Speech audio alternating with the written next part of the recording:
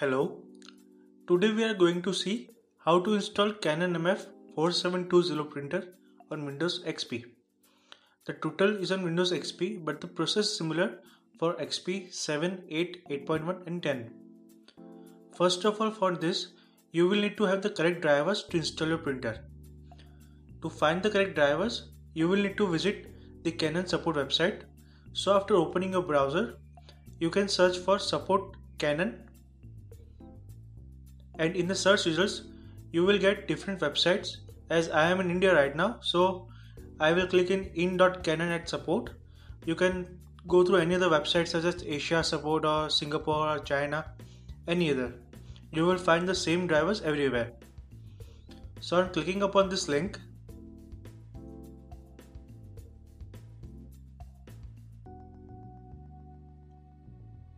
Now here in the search field you will need to enter the model number or the printer number which you are finding drivers for.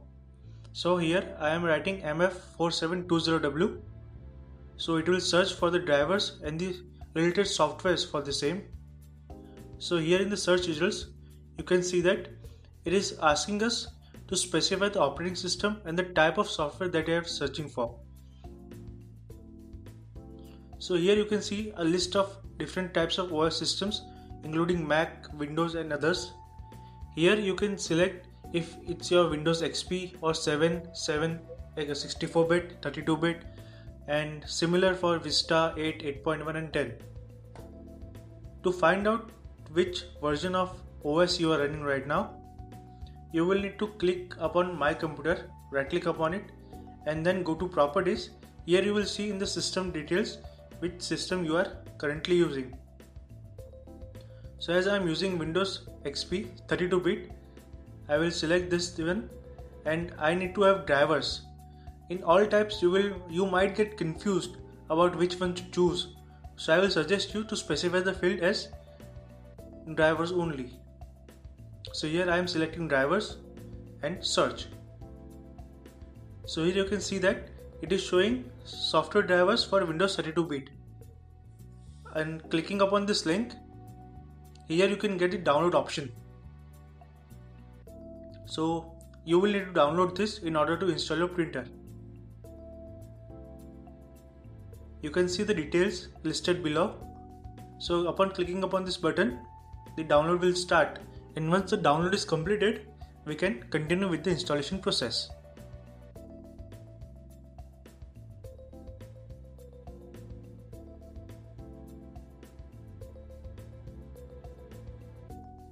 It is generally in your download folders that is set by default or if you have changed them you can go to, to the download location file through here from the Chrome directly or if you already know where the download location is you can go directly to there. I am showing you both the options in case you are unable to find any one of them.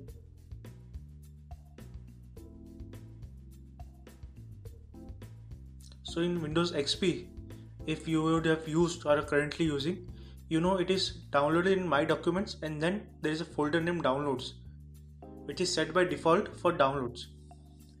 Here you will need to search the name of the software that you have downloaded. So you here you can we can see that there is this software located and upon double clicking it and clicking upon run the installation process will start. So it is now unzipping the files.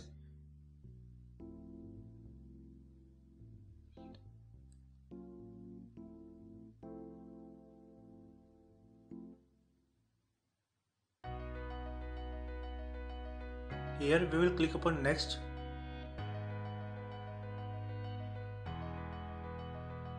Yes, you will have to accept this license agreement and then only you can install the software. Now here you have two options USB connection or network connection. So we are right now using the network connection. For this you will need to make sure that you are connecting on the same network as your printer. So here will the software will search for the softwares sorry printers and list down your printers with its MAC ID and physical address. IP address. So once you are sure with it, you can go ahead. In case the printer is not listed here, you can click this option search by IP address and input the IP address shown upon your printer and then click upon next. Here it will show you options and then click upon next for continuing the installation and now the installation will be starting soon. Here you can change the printer name if you want or it is set to default by this. You can click upon next and start the installation.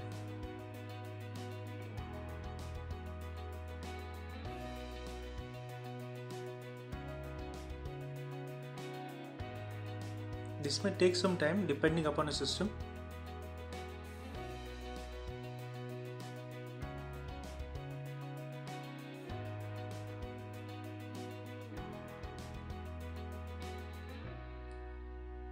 So here it is asking you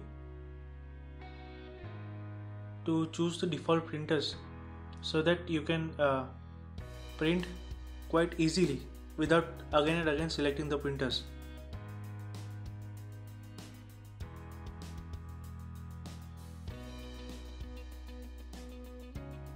So yes, once the installation is complete, it will ask you to print test page and I recommend you to go ahead with this option.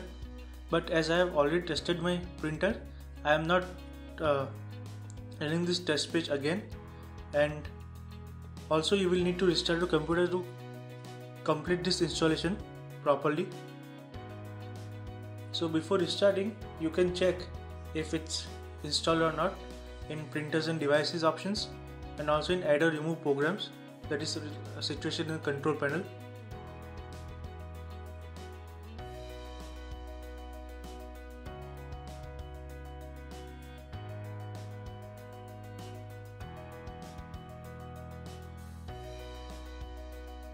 From here you can be pretty sure that you have installed your software correctly for a printer.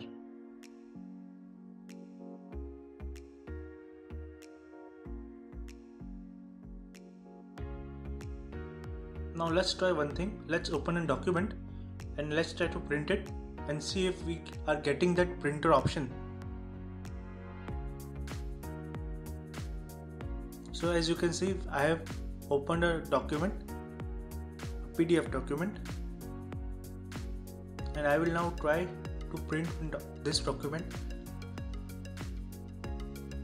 So here as you can see, as I have set the default printer as this Canon one, so it is already showing me this along with other printers and options.